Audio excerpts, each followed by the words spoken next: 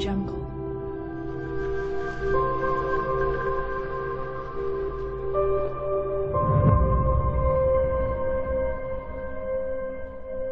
Audio Jungle. 中国贫困问题仍很严重。AFP 中共国家主席习近平在元旦贺词中重申到二零二零年让全部中国农村贫困人口脱贫的目标。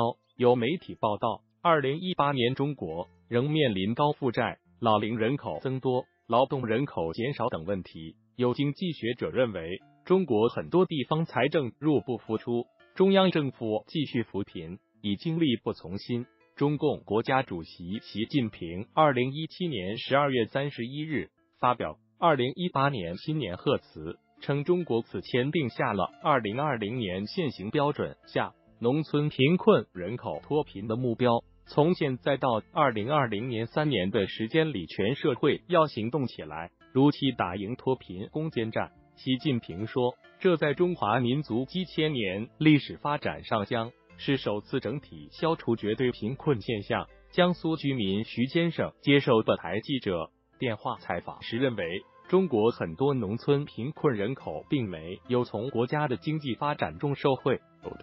中国国家进步了，老百姓穷。贵州、云南、四川这三个省还有吃不上饭的。我在两年前曾经到过贵州的黔南州，这些老百姓的房子。全部家当加起来只有两三千元，在高山上缺医少药，我就搞不清现代社会里他们究竟有多远。article 香港英文南华早报二零一七年十二月三十一日报道称，至少从表面上看，中国二零一七年经济保持平稳发展，GDP 增速基本保持在百分之六点九。截至去年十一月，中国外汇储备连续幺零个月保持增长。不过，二零一八年中国仍面临高负债、老龄人口增多、劳动人口减少等问题。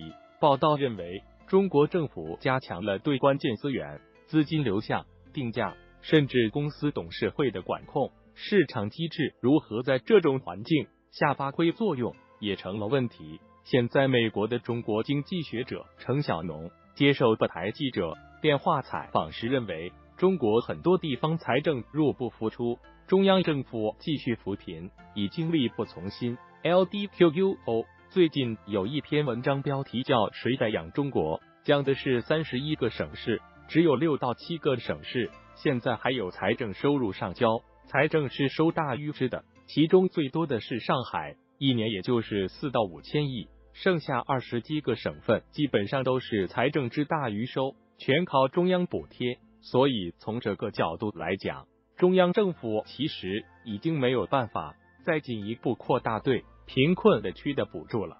中央政府拿不出那么多钱来。article 中国目前的贫困线标准是二零一一年颁布的，农民人均年纯收入不足两千三百元人民币，即算作贫困人口。据经济日报十二月三十一日报道，国务院扶贫办主任刘永富表示。二零一七年中国年度减贫任务超额完成，贫困人口在减少一千万人以上。不过，对于中国目前到底有多少农村贫困人口，中共官方并没有公布明确